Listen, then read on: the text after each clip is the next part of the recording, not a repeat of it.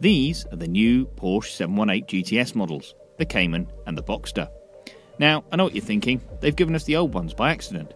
But this isn't your standard facelift. In fact, it's more of a heart transplant. Because out goes the unfancied four cylinder engine, and in comes a new flat six. Well, I say new, it's actually the same unit used in the Cayman GT4 and the Boxster Spider. Pretty tasty then. So let's see how they get on. First, we're going to have a little spin on the track in the Cayman.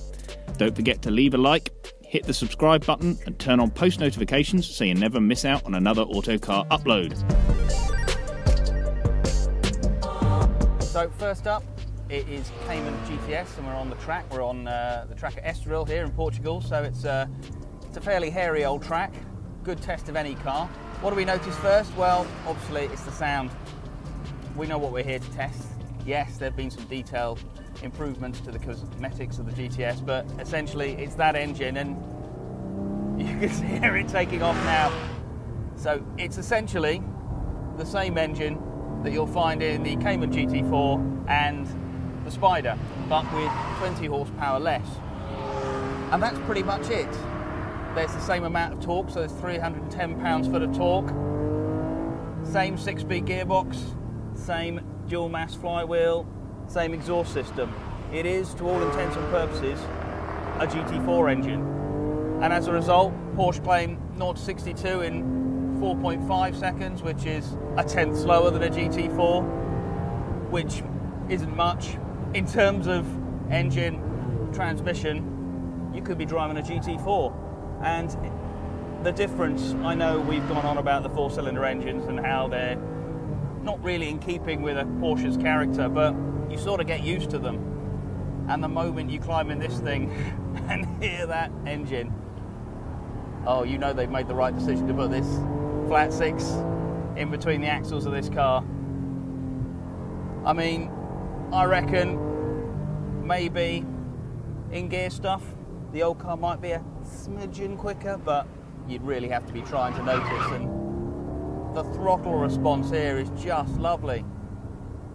Like all proper naturally aspirated units, you get out just as much acceleration as you squeeze with your right foot. Everything is so beautifully proportional.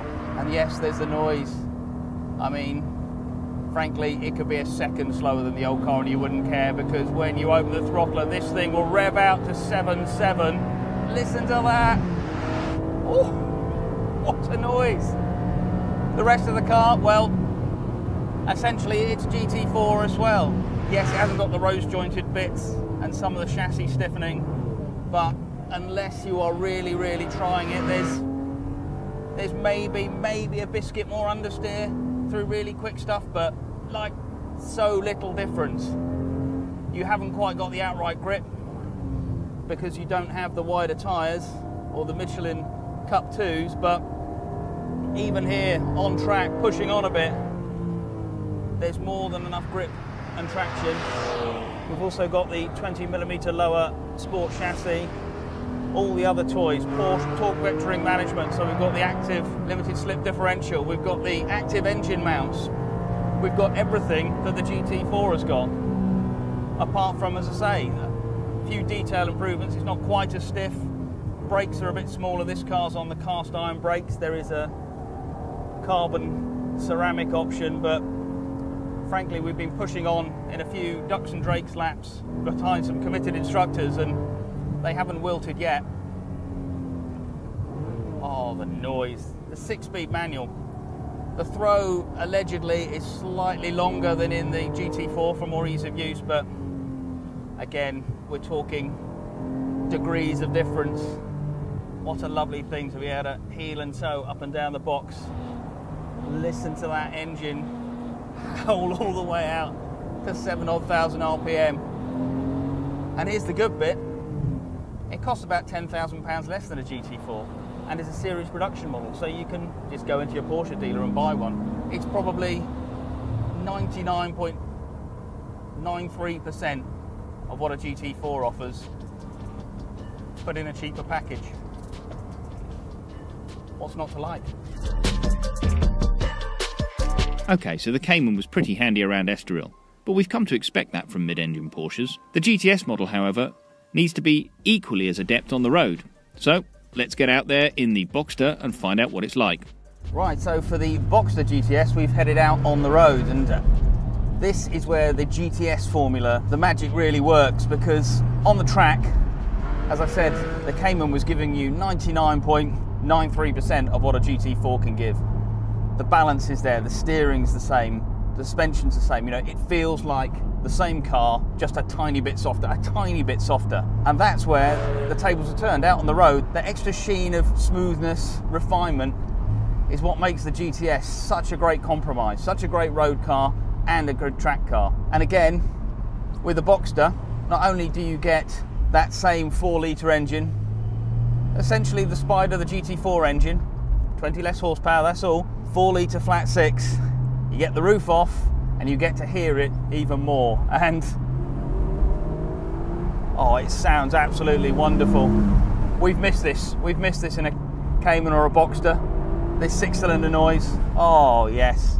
It's what it's all about. The four cylinders were effective, very effective, but they're not a patch on this.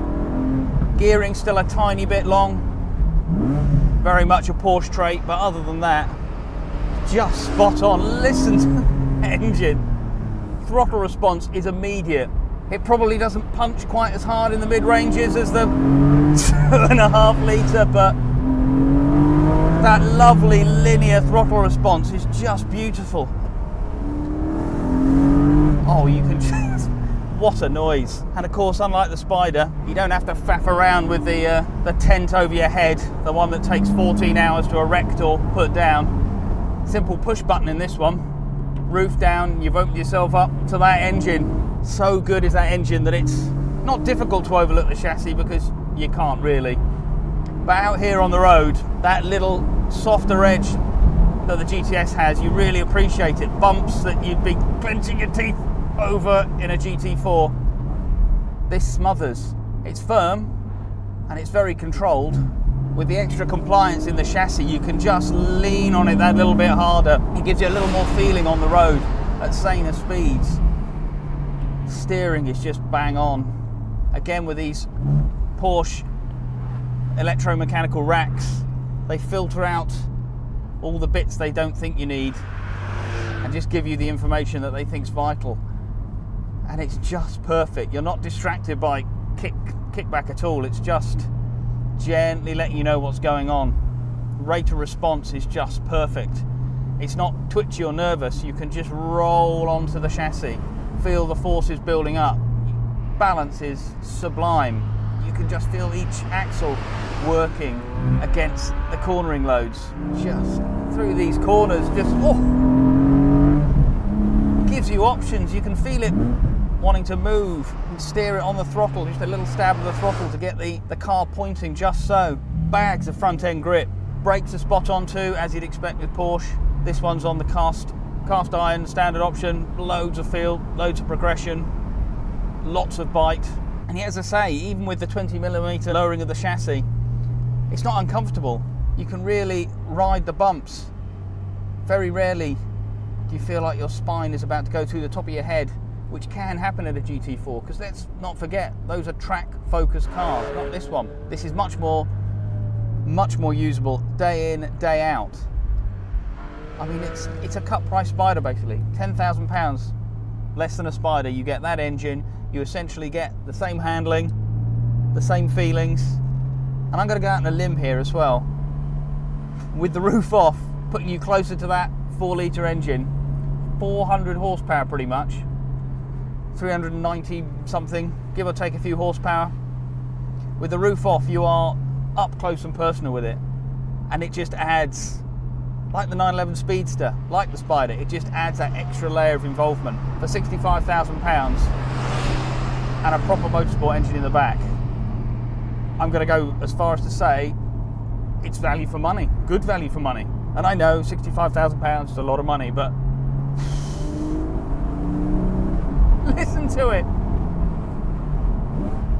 Oh, and again.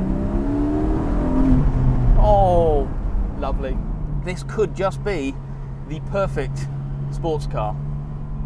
There, I've said it. Oh, Lovely. The Boxster and Cayman GTS really are remarkable pieces of kit. Now, there's nothing really wrong with the old car.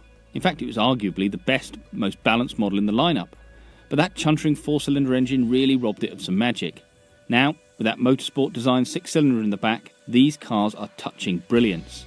Then you consider that they cost around £10,000 less than both the Boxster Spider and the Cayman GT4, and well, you could just consider them the sports car bargains of the decade. Now don't forget we're here every week with news, reviews, group tests, you name it. So if you enjoyed this video, give it a thumbs up, subscribe and turn on post notifications so you never miss another autocar video.